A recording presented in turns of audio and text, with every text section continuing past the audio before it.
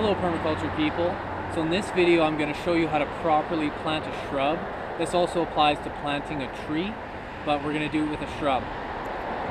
So the shrub I have here, this is a golden elder. It's a pioneer plant. It's going to accumulate biomass very quickly in our forest. So we're planting it here along the swales to provide shade and to provide biomass. So the first thing I'm going to do is I've dug my hole. I've dug it two to three times the size of the pot of the plant. I'm going to backfill with some manure. Just like that.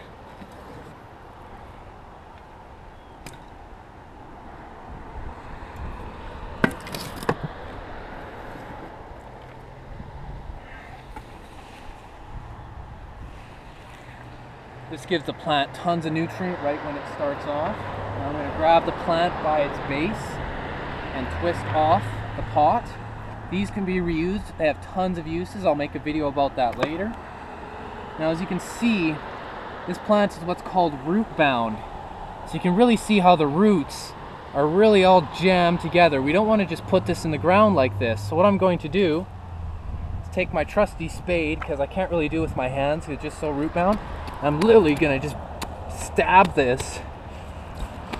I know it looks like I'm gonna kill it, but trust me, all these other plants you see in the background, they all had this same treatment and they're just fine. We see how now as I'm breaking up the roots, so this allows the plant to kind of breathe and spread its roots out quicker once we get it in the ground because it's not all bound up again anymore. See, look at that. So now it's nice and loose. I'm put it in the hole. You can see I put just the right amount of manure in to get it level with everything else. It's a little low. And then I'm just gonna backfill. With manure around it.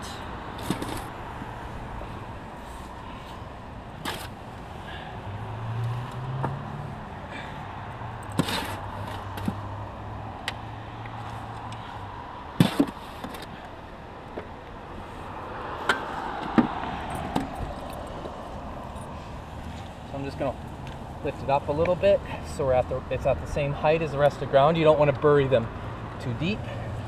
And then we're just gonna spread the manure and lightly compact it. Don't want to compact it too hard. So we want the soil to be able to infiltrate water still. Of course, this is so fluffy. There's really no way you could ever pack it so hard that water wouldn't infiltrate.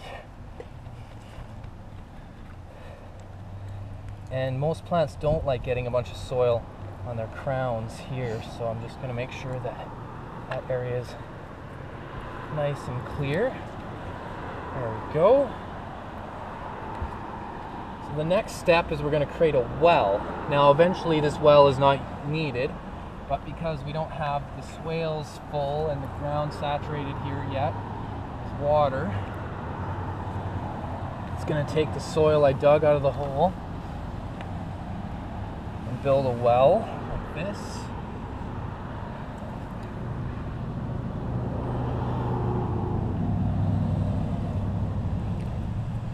This well allows me to fill it full of water and then it'll hold the water and so it can slowly infiltrate around the plant.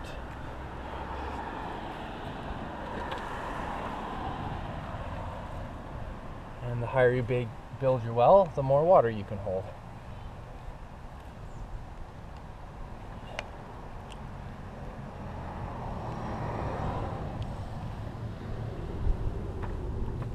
So there's the well. And now the last step, let's get that out of the way.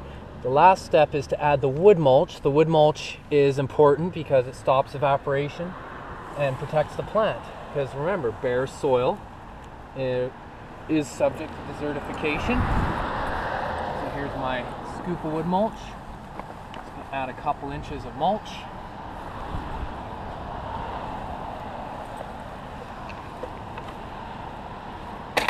This mulch is courtesy of Corthius Tree Care. Thank you, John, and your crew for the wood mulch. If you need any tree care done, call Corthius Tree Care here in Lethbridge area. They are by far one of the best tree care guys out there. They do have aerial trucks, but these guys, they all know how to climb and rope through the trees. So they're pretty awesome. I've watched them work and it's quite astounding. So there you go. Now that it's been mulched and the well is there, now all you need to do is take your hose, put a slow trickle of water on this, and this shrub is planted. So that's my video on planting shrubs. Hope you enjoyed it. If you liked it, please like and subscribe and check out my other videos. Thanks everyone. Peace.